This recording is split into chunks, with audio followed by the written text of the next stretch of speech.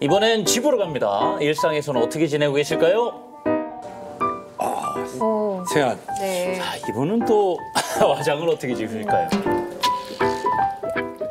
자, 클렌징 폼으로 오, 굉장히 부드럽게 세안하시네요.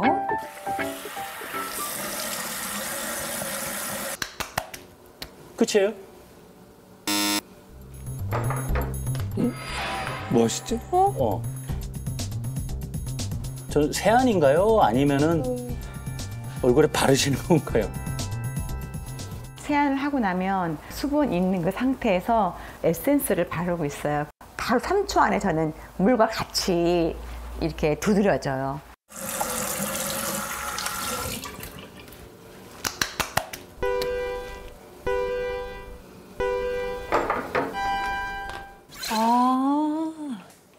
아 저런 방법이 있군요. 오. 3초가 포인트예요. 이게 수분이 금방 날아간다 그러더라고요. 그래서 저는 화장실에 놓고 세안이 마치자마자 바로 들어가요. 수분 지켜내는 골든 타임이네요. 어, 그러게요. 그 다음에 또 하나 바를 게 있어요. 어, 뭐예요? 저희도 알려주세요. 이거는 보습 방이에요. 수분을 최대한 나가지 않게끔 보호막 역할을 하는 거예요. 놓치지 않을 거예요. 보통 집에 저 크림 하나씩 있거든요. 아, 이런 효과가 있는지는 몰랐네요.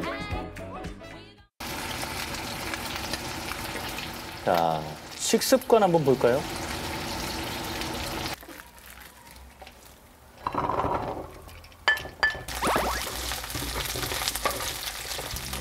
마늘을 이렇게 볶은 다음에 그 다음에 안치면은 밥맛도 좋고 되게 맛있어요. 향도 좋고.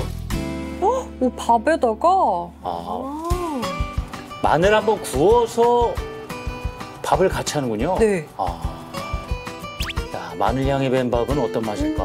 네, 어우, 처음 봅니다. 고등어가 등 푸른 생선이잖아요. 콜라겐이 많이 있대요, 껍질에. 그래서 되도록이면 껍질까지 먹는 생선을 저는 많이 먹고 있어요.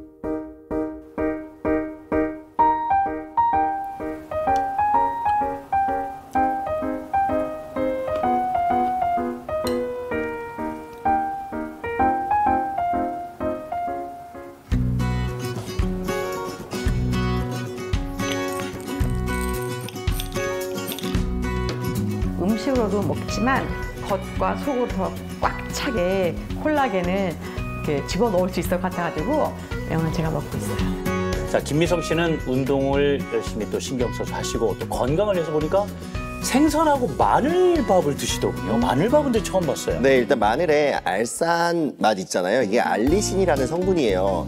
이 성분이 항산화 작용은 물론이고요. 혈당과 혈압을 내리는 데도 도움을 주거든요. 고혈압과 당뇨 전 단계로 고민이 많았던 미성 씨에게는 굉장히 좋은 식단인 거죠. 그런데 미성 씨도 생선으로는 콜라겐 채우기 어렵다는 걸 아셨나 봐요. 기초 케어 후에도 식사와 운동 후에도 콜라겐을 따로 또 챙겨 드시더라고요. 어린 콜라겐이라고 어. 아까 나왔는데 먹으면 피부가 어려지니까 어리다 해서 오- 어린 콜라겐인가요? 아니면 뭐 그런 거 있잖아요. 콜라겐을 추출한 어떤 생물체를 더 어린 생물체. 밥을 얼른 주시죠. 밥을. 어린 콜라겐이 뭐예요? 아니 이런 질문을 많이 하세요. 네. 네. 근데 이 어린 콜라겐 물고기 어 비늘 닌즉 물고기 비늘에서 추출한 콜라겐을 어린 콜라겐이라고 부르고 있습니다. 이 콜라겐이라고 다 같은 콜라겐이 아니거든요. 네. 원료 특성에 따라서 콜라겐의 세대가 나뉘는데 콜라겐의 세대가 거듭할수록 분자 크기가 작아지고 있습니다.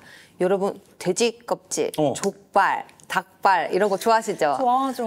뭐 잘하면 그맛 알죠. 진짜. 예. 여러분이 좋아하는 그 육류 속에 있는 콜라겐이 바로 1세대이고요. 예. 그리고 2세대는 생선 속에 들어있는 어류 콜라겐이고 3세대는 물고기 가죽에서 추출한 어피 콜라겐입니다. 이 미성 씨가 관리를 위해서 따로 챙겨 먹은 초저분자 어린 콜라겐이 차세대 콜라겐인데요.